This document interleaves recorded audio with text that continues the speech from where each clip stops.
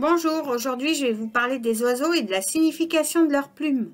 Il faut regarder la direction où ils partent.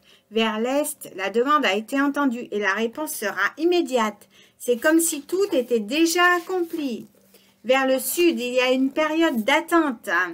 Euh, ça se réalise pas dans l'immédiat, mais ça sera du concret. Vers l'ouest, la réponse est plus ou moins positive ou négative en fonction de l'effort fourni. Vers le nord, il y a quelque chose à terminer avant de voir euh, le résultat de la demande. Quand on trouve une plume, il faut regarder la direction où elle pointe. Les oiseaux domestiques comme le moineau, la mésange, le chardonneret apportent une vie heureuse, sont à glisser dans un sac médecine.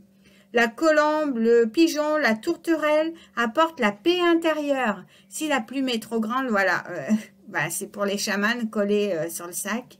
Euh, les oiseaux aquatiques, les oiseaux comme le héron apportent une protection tant céleste que terrestre. On ne manquera de rien, tant sur le plan nourriture, spirituel que physique.